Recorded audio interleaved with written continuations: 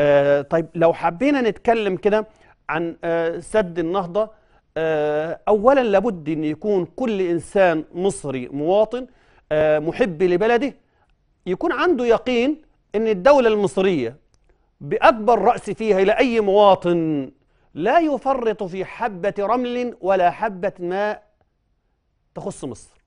وده كل القيادة قالت الكلام ده مش هنفرط فيها. لكن عندنا يقين برضو إن ربنا سبحانه وتعالى لم يمنع رزق ساقه الله لعبده.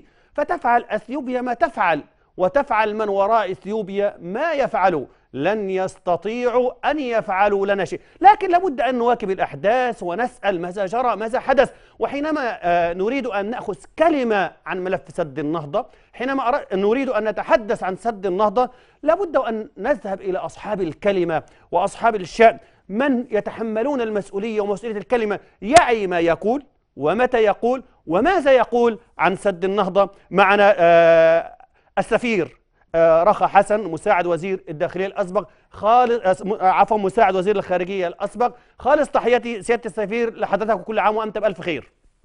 تحياتي ليك والسادة المشاهدين وكل عام وأنتم بكل خير. وحضرتك ومصر كلها والعالم والإنسانية كلها بألف خير وسلامة. معالي السفير سد النهضة إلى أين وصل؟ ما هو آه، وجهة نظر حضرتك في هذا الملف؟ تفضل سيادة السفير. يعني هو في الحقيقة هذا الملف الموقف مصر واضح وصريح. مصر دولة مصب. يعني إحنا بيصل إلينا جزء صغير جدا جدا من المياه التي تسقط على حوض نهر النيل. تمام. إثيوبيا وحدها بيسقط على أراضيها حوالي 900 مليار متر مكعب من المياه. 900 مليار؟ 900 مليار. تمام. إحنا بيوصلنا بيوصلنا 55 ونص مليار متر مكعب. يعني آه، وبعدين إحنا دولة مصب ما عندناش أمطار. إحنا بنعتمد 90% على مياه نهر النيل اللي تمام. هو النيل الأزرق والنيل الأبيض.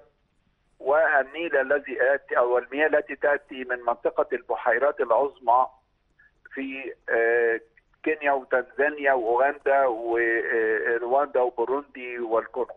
تمام. فهذا آه، ال- ال- السد.